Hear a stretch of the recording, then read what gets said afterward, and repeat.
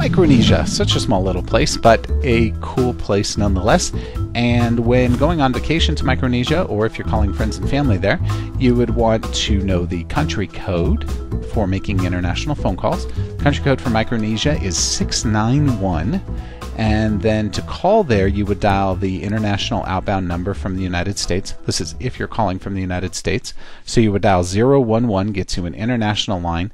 Then 691 gets you to Micronesia. And then the phone number that you want to call. So again, the country code for Micronesia is 691.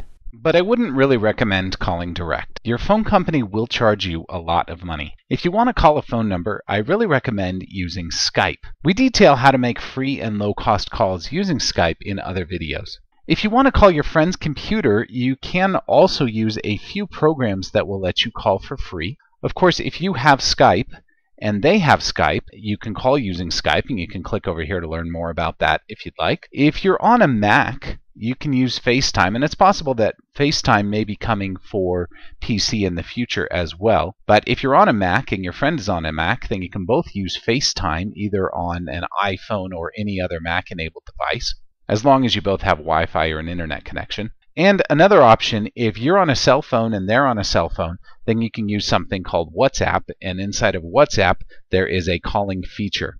Now you can click on any of these that we've detailed here, and you'll be able to go to a video that we've made about each of these so that you can learn more about how to use any of these apps for free calling and as long as you and your friend have them, you'll be able to make free calls using these tools. If you liked this video, please be sure to give it a thumbs up below. Be sure to subscribe as we have more helpful videos almost every single day. If you have any questions that we can answer for you, please be sure to come and visit us at showmehowtodothis.com.